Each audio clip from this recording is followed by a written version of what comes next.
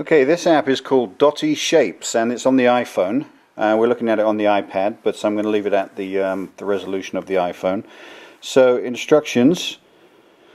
Uh, basically, the idea is to um, start off by tapping either number one or A, and then you will find the next character in sequence. So then you would tap number two or B to complete the shapes. And um, let's go ahead and show you what I mean.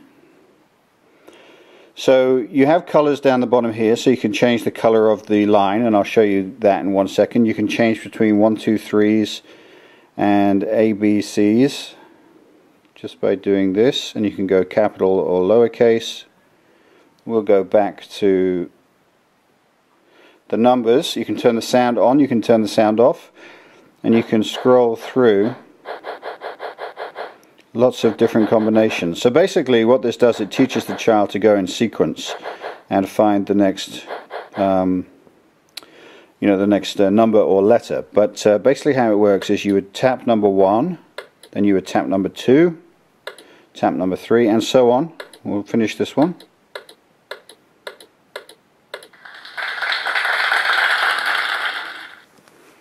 And it tells you what you just completed and we'll go to the next one. And like I said you can make it interesting by um, changing colors.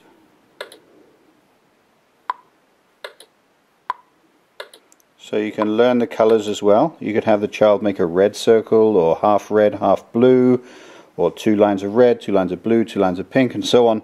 So lots of different ways to um, switch the app up. And uh, really make it very interesting. So let's go into the alphabet, and we're in capital letters.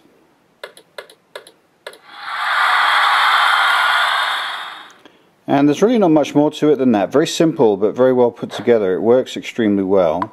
Um, change down into lowercase. And you can get some, uh, we'll go through this one very quickly just to show you.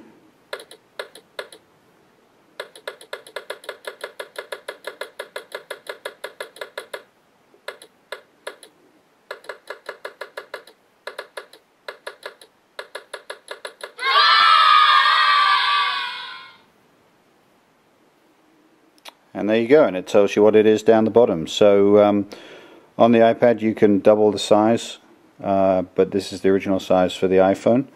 And uh, overall it's a, it's a very good app. It works very well. And it's called Dotty Shapes